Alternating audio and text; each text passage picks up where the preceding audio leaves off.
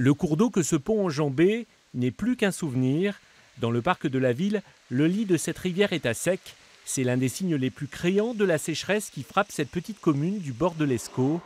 Une pénurie d'eau constatée par les habitants.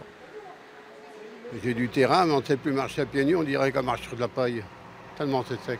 On n'a plus besoin de partir dans le midi pour avoir du soleil. Des chaleurs pareilles, les gens vont venir à utiliser l'eau dans n'importe quelle façon. Et puis euh, les nappes phréatiques risquent d'être vidées et ça risque d'être un gros problème pour, euh, pour notre département. Une sécheresse visible par satellite. La première image de la région a été prise en juin, celle-ci il y a quelques jours. Une situation qui a poussé la préfecture du Nord à déclencher le plan alerte sécheresse de la métropole lilloise à l'Avenois. Il est interdit d'arroser les pelouses, de laver sa voiture en dehors des stations de lavage et pour les agriculteurs d'irriguer entre 11 et 19 heures.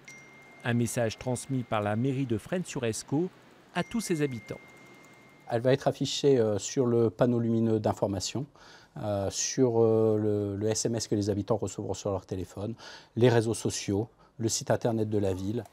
Plus de 500 communes sont concernées par ces restrictions de niveau 2 sur une échelle qui en compte 4. En cas d'infraction, attention, vous êtes passible d'une amende de 1500 euros.